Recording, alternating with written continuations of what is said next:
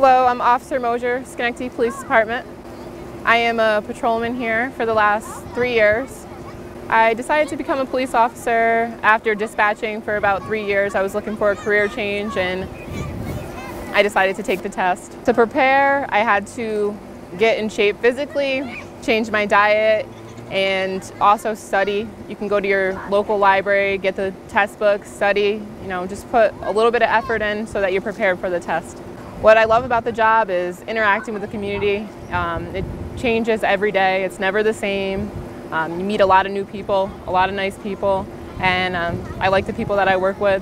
I grew up in the city of Schenectady, so it's great to police here, um, just to be able to interact with people. It's a very diverse city.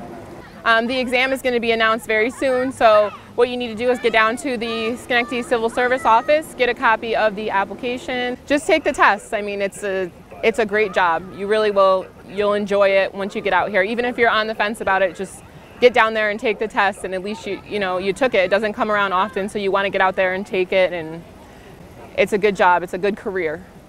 I hope to see you guys soon, and you know, I hope everybody gets out there and takes the test and um, decides to become a police officer and take this on as a career.